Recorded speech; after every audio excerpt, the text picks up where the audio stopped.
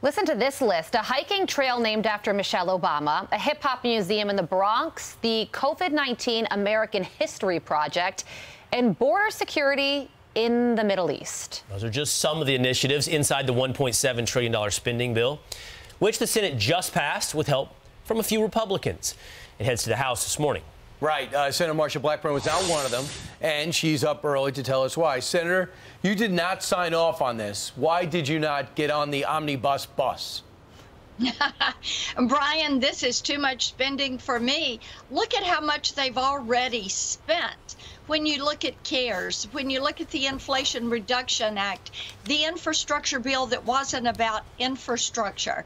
And now they want to do this with another $1.7 trillion. The American people deserve better than this. And you mentioned the money that was going to four countries in the Middle East to secure their border, but then the language in this bill disallows our Border Patrol to use their funding to secure the border. They can use it to mitigate right. some of the issues. But not to build the wall, not to secure the border. Well, Senator, we understand why you voted against it. Why did 18 of your colleagues on the Republican side of the aisle vote for this bill?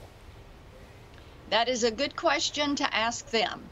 Uh, but I know Tennesseans expect me to go to D.C. and do my best to reduce what the federal government is spending.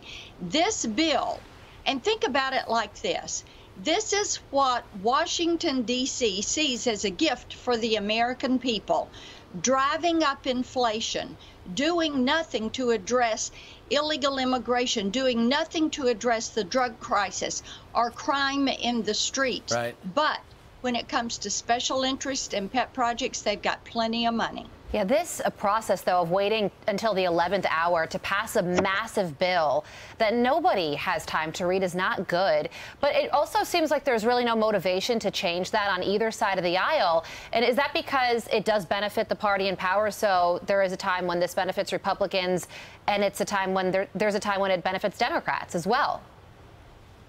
But there are some of us, and we need more conservatives up there, who say let's freeze federal spending, hiring, and salaries and begin to get this under control. Let's focus on the things the American people are focused on, like illegal immigration and what we have happening in Tennessee, uh, what we see happening with crime, what we see happening with inflation, the price of groceries, the price at the pump. Right. Those are the issues that people want to see addressed. And as I was flying home last night, talking to people, they were going, why why are we doing this? Inflation is killing us and it is affecting families budgets and all of this government spending is happening right here right at christmas.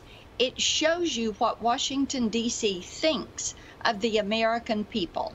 Right uh, senator real quick uh, this uh, this year coming up with, with the budget is now not going to be addressed once this passes the House until September of this year. So what could you do in now in the minority, a clear minority in the Senate? How do you plan on approaching it?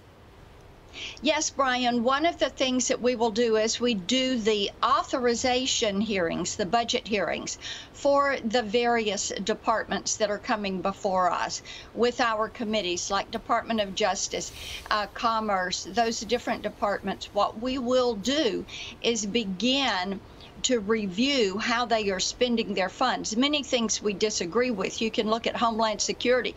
Tennesseans have a big disagreement with them right now. But also, what we are going to have to do is a better job of driving our message that we have to change the way we do right. budgeting. And we have to make certain that we freeze federal spending and begin to work this back down.